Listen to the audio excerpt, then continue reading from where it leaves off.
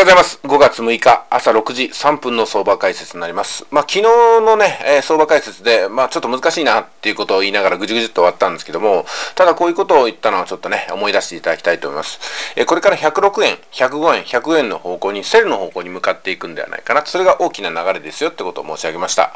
そして小さな時間軸ではね、えー、上昇する傾向にあるっていうことだったんですけども、それをなぞりながら今日はお話していきます。えこれ、で、え冷やしなんですけども、冷やしはまあお話した通り、106円、105円、104円の方向にこういうふうにね、まずはアリゲダラインが広がりながら下の方に向かっていますよね。で、こちらのゾーンを割ったあたりから、ドーンと割ったあたりから、はい、下の方に向かっているっていうのは昨日の言った通りです。まあ、この円の若干角ような形でね、言ってますけども、まだエントリーするには至らないんですよ。このくらいの形だとちょっと怖いですね。まあ、下に向かっているのは大きな時間軸です。で、次、4時間を見てみると、ここ、力点がここにありますよね。で、ここからちょっとね、線を引いてみたいと思うんですけども、107の045のあたりです。こういうふうに引いていくとですね、えー、先ほどのデイリーで、え、感じたことがさらにね、え、はっきりすると思うんですよ。こういうふうな形で動いてます。ヒゲをつけて下の方にって感じですね。まあ、M を書くような形ですよね。M っていうのは N の派生形でして、まあ、その方向に向かうことが多い。要するに今下の方向に向かってますから、それを継続してね、下の方向に向かうことが多いんですよね。で、ここがネックラインになってきますんで、えー、まあそうですね、下の方に行くかなというところでございますけど、まだわからないですね。うん、このくらいだったら、ね、ちょっとね、上に行くか下に行くか分かんない段階でエントリー決めるのは、ちょっと損失を広げますんでね、私はエントリーしない方向です。ただ、動きを見ていく意味では、毎日、えー、いろんな仮説をね、ああでもない、こうでもないって見ていこうかと思います。さあ、ここでなんですけども、3つの山があります。これ久しぶりに出てきますよね。こういうふうに山がドーンとあって、2つ目の山は、まあ、ここかなというところですね。3つ目の山はこんな感じです。そうするとですね、山の頂点、髭を出しているところが分かります。特に、ここは包み足をね、作ってますね。で、これも包み足を作ってますよね。これも包み足がここにあるんですよ。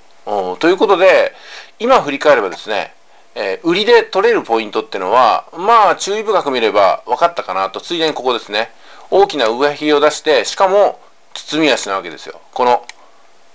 えー、陽線と陰線見てください。陽線は上下にひげが長くあって、陰線は、あまあ、実線が大きなあ太いやつですよね。この2本っていうのは包み足になってますよね。で、これも包み足になってます。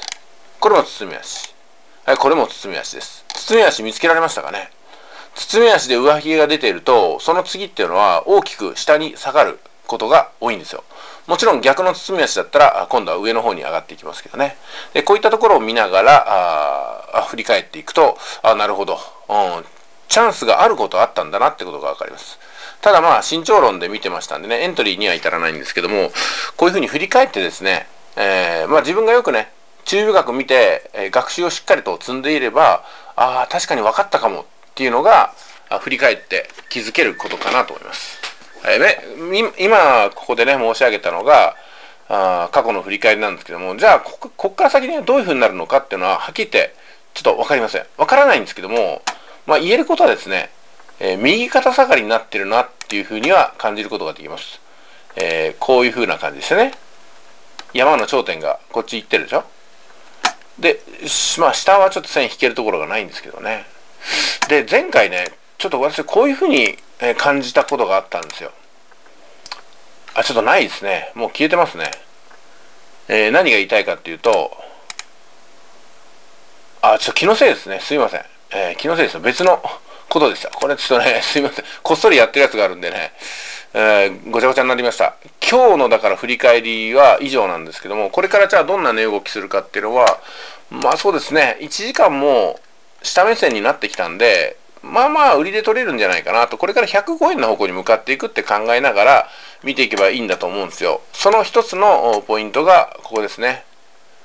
ここに力点を引いてきて、106円の445あたりに力点引いて、これ終わったらまあ売りで入れるんじゃないかなと思います。ただ現在ね、上髭もたくさん出てるんですけども、上髭。これね、下髭もちょっと気になるわけなんですよ。で、えー、このゾーンがあると。ゾーンってのはここですよ。だからこれから見るべきことっていうのは、このゾーンを超えて、もう下に行くようでしたらね、こういうふうに行くようでしたら、この辺りから、エントリーしてもいいんじゃないかなと。106円のね、350、360あたりで売りに入っていけば、まあ、高い確率で勝つことができるんじゃないかなというふうにぼんやり思いながら、今日のローソク足を見ていこうかなと思います。本日は以上ですね。